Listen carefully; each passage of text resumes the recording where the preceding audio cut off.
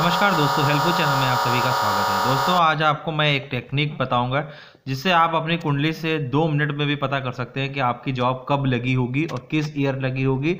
और अगर आपकी जॉब छूट गई है, जिनकी जॉब छूट गई है उनको पता करना है कि उनकी जॉब कब लगेगी, कितने महीनों बाद लगेगी। ये एक छोटा सा स्मार्ट मेथड है, जिसको आप अप्लाई करके देखिएगा। और जिनकी जॉब जॉब पहले लगी हुई होगी तो उनको ये देख लीजिएगा कि उनको कब किस तरीके से लगी होगी। तो कमेंट में ज़रूर मेंशन करिएगा। कि ये फार्मूला उनके ऊपर अप्लीकेबल है, हुआ कि नहीं हुआ।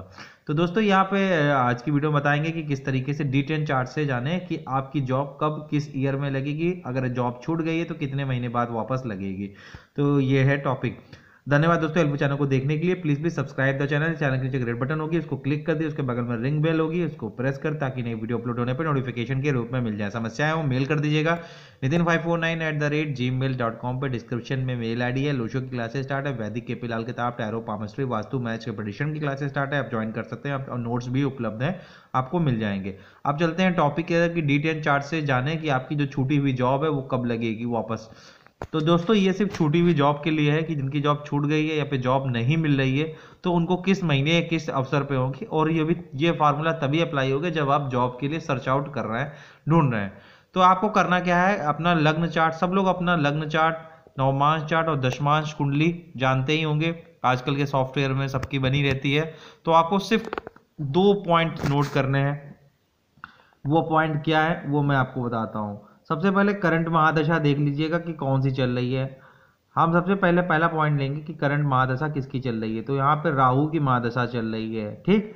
राहु का पोजीशन नंबर देख लीजिएगा, राहु किस राशि में बैठा हुआ है? राहु यहाँ पे मकर राशि में बैठा हुआ है, ठीक है? शनि की राशि में, ठीक? मकर राशि राहु में बैठा हुआ यानी कि राहु मकर राशि कहाँ पड़ती है? काल पुरुषा कुंडली में, कुंडली का दसवां घर जो पड़ती है। तो यानी कि राहु की महादशा में करियर में कोई ना कोई प्रभाव आएँगे अप डाउन अप डाउन चाहे जैसे हो क्योंकि राहु यहाँ पे करियर के साइन में मकर राशि में बैठा हुआ है तो जॉब के लिए अप एंड डाउन करता रहेगा, ठीक है? उसी प्रकार आपको ये पता चल जाएगा कि किस तरीके से अब आपको जॉब छूट गई है तो वापस कब मिलेगी? तो आपको अपने लग्न चार्ट और दशमांश चार्ट और नौमांश चार्ट में कौन सा हाउस देखना होता है? सिक्स हाउस जी हाँ दोस्तों, आप अपना सिक्स हाउस देखिए सिक्स हाउस यहाँ पे लग्न चार्ट में सिक्स हाउस की जो राशि है, दो नंबर है। और यहाँ पे नौमान चार्ट में जो राशि है सिक्स हाउस की राशि है, वो मेष राशि है और डी टेन चार्ट में यहाँ पे मकर राशि है, दस नंबर राशि लिखी है। ठीक है?